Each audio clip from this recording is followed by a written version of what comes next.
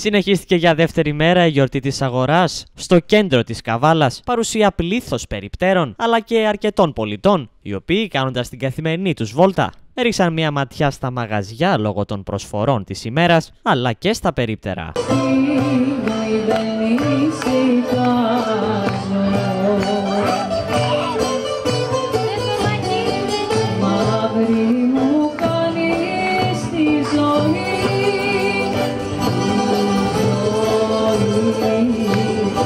somebody gonna know.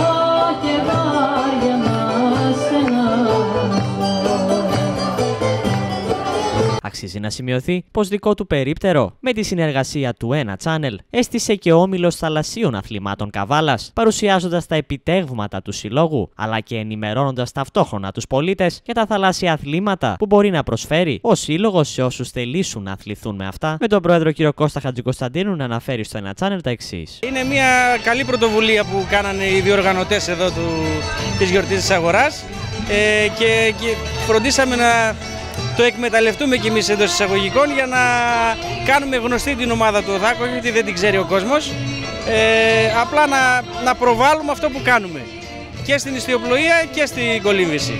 Πρέπει να προβληθεί καθώς υπάρχουν πολλά σημαντικά επιτεύγματα και πολύ σημαντικοί αγώνες που λαμβάνει μέρος ο ΘΑΚ. Να αναφέρουμε ας πούμε και μερικούς αγώνες αλλά και μερικά επιτεύγματα το πιο γνωστό αυτό της Ρεγκάτα.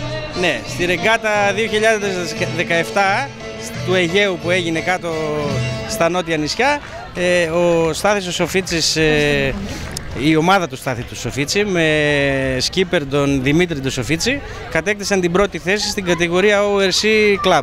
Ε, εντάξει, τι πιο ωραίο να φεύγουν τέσσερα πληρώματα δικά σου και να παίρνεις μία πρώτη και μία έκτη θέση. Στη συνέχεια, ο κ. Κατζικοσταντίνου ενημέρωσε μέσα από το ένα channel που μπορούν να γίνουν εγγραφές στον όμιλο θαλασσιών αθλημάτων Καβάλα στο κλειστό κολυβητήριο της πόλης. Κοιτάξτε, καθημερινά από τις 4.30 ε, και μετά είμαστε στο κολυβητήριο.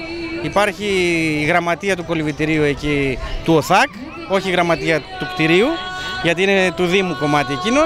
Ε, μπορεί να απευθυνθεί κάποιος εκεί να μας βρει, αλλά ε, μέσα στο οθάκ.gr υπάρχουν και όλα τα τηλέφωνα. Κάποιος που θέλει να επικοινωνήσει να μας κάνει ένα τηλέφωνο να το εξηγήσουμε οτιδήποτε.